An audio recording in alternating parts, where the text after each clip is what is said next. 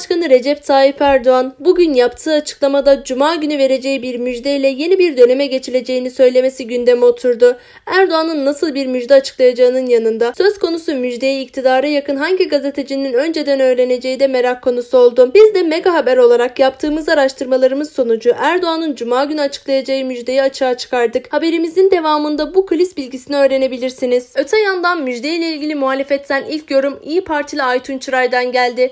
Çıray sosyal medya hesabından yaptığı açıklamada müjdeyle ilgili tahminde bulundu. Çıray, Sayın Erdoğan Cuma günü müjdem var demiş. Bir başkası da yeni bir dönem açılacağını söylemiş. Benim tahminim ya Covid-19 aşısını bulduk ya da S-400 füzesi çalıştırılacak. Siz de tahminlerinizi yazın lütfen ifadelerini kullandı. İşte bizim aldığımız kulis bilgisi ise Cumhurbaşkanı Recep Tayyip Erdoğan'ın Cuma günü açıklayacağız dediği müjde. Akdeniz'de tespit edilen bir doğal gaz kaynağı. Bunun için NATO limanında demirli olan Türkiye'nin 3. sondaj gemisi Kanuni yola çıktı. 12 bin metre derinliğe kadar 3 bin metre sondaj yapma özelliği olan Kanuni'nin 35 personeli bulunuyor. Bulunan gazın değeri ve sınıflandırılması açısından ilk aşamada hangi derinlikte bulunduğu gibi teknik bilgilerin ise sır tutulması ve açıklanmaması bekleniyor. Ancak edinilen bilgilere göre bulunan gaz kaynağı da hidrokarbon. İsminin açıklanmasını istemeyen Cumhurbaşkanlığına yakın bir kaynak, konuyla ilgili çıkan benzeri haberlerle ilgili olarak gaz kaynağının Akdeniz değil,